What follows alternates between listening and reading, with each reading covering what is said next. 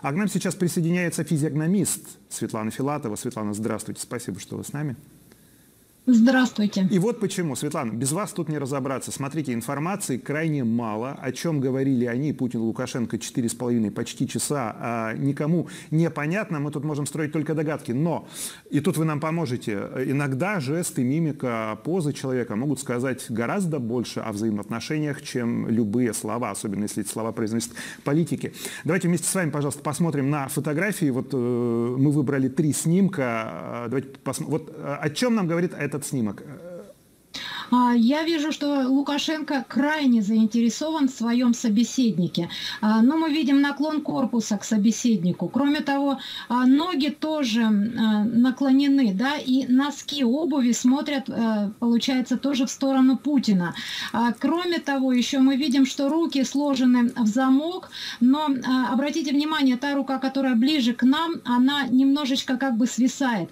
Безвольно, можно сказать. Это крайняя степень волнения, и заинтересованности в собеседнике. А со стороны Путина я вижу, что он сидит довольно спокойно, уверенно, как вы видите, раскинул ноги, облокотился на спинку кресла, ну и, в общем-то, ну, спокойно совершенно, он не так, он волнуется, но не так, как собеседник. И, в общем-то, он менее заинтересован вообще в собеседнике.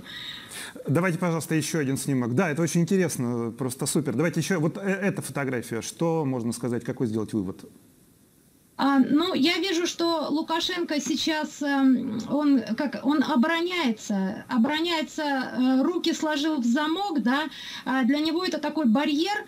А, кроме того, э, по лицу мы видим, что плотно сжата челюсть, челюсть это волевые качества, но человек в подавленном состоянии, эмоция печали проскальзывает. Конечно же, он старается держать лицо, но мы видим, что он очень подавлен, очень, и заинтересован заинтересован опять-таки. И обратите внимание, кстати, смотрит вниз, он смотрит на руки собеседника, он, а, ну, это, наверное, просто кадр, здесь выводы делать сложно, но, в принципе, э, тоже было видно, что он смотрит чаще вниз, нежели на собеседника. То есть он как провинившийся человек, да, да. Перед да. Понятно, понятно. Э, кстати, эти снимки сделаны из э, пуловского видео, то есть это из э, того, той официальной пуловской видео рассылки, которую получили все агентства. Светлана, пожалуйста, еще один снимок, давайте посмотрим на Владимира Путина. Вот, вот такая поза.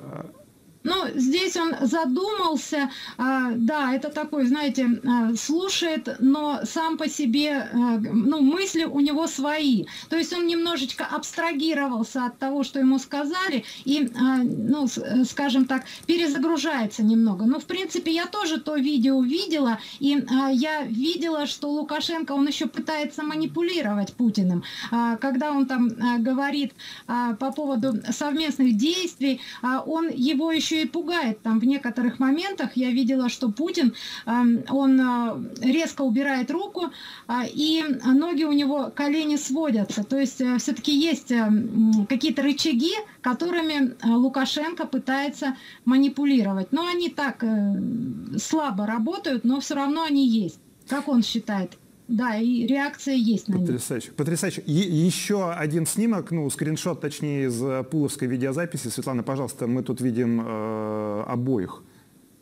А, ну, смотрите, здесь уже Лукашенко удалось чем-то заинтересовать Путина. Здесь даже скорее такой назидательный наклон. Э, у Путина появилась, наконец, заинтересованность. Вы видите, корпус он наклонил вперед, то есть он уже как бы готов к какому-то сотрудничеству. Да, кстати, вот обратите внимание, у Путина он приподнял ступни, и, а, кстати, во время того, как они разговаривали, Путин периодически а, ступнями притопывал. То есть он подсознательно давал посыл, что он как бы держит ситуацию под своим контролем. Это, знаете, когда а, кулаком по столу подошел, поставил, да, запечатлел, можно сказать. Вот здесь вот тоже наблюдается. Мы видим, что, да, появилась заинтересованность, и Лукашенко что-то записывает ну, видимо, там какие-то обещания или еще что-то. А, наконец-то у Лукашенко появилась возможность не сидеть в такой заинтересованной позе. Но смотрите, все равно ноги а, наклонены в сторону собеседника, да, а, он как бы а, частично он слушает, такое внимательное слушание, а частично он записывает, конспектирует, как студент, которому дали определенное задание, и он его выполняет. Светлана, огромное вам спасибо. Слушайте, я мечтал так же, как вы, разбираться в таких нюансах. Э, действительно, это просто, спасибо. я не знаю, ну, это, это кладезь Э, информации. Вот так вот можно без слов считать. А что нам еще остается делать? Я благодарю Светлану Филатову, физиогномиста. А что нам еще остается делать, если об этой встрече никому ничего не известно, и все, что мы можем э, попытаться понять, кроме официальных, естественно, заявлений, вот, все, что мы пытаемся сейчас понять, а что, собственно, было на самом деле. Светлане Филатовой огромное спасибо. Она тут очень во многом помогла нам разобраться.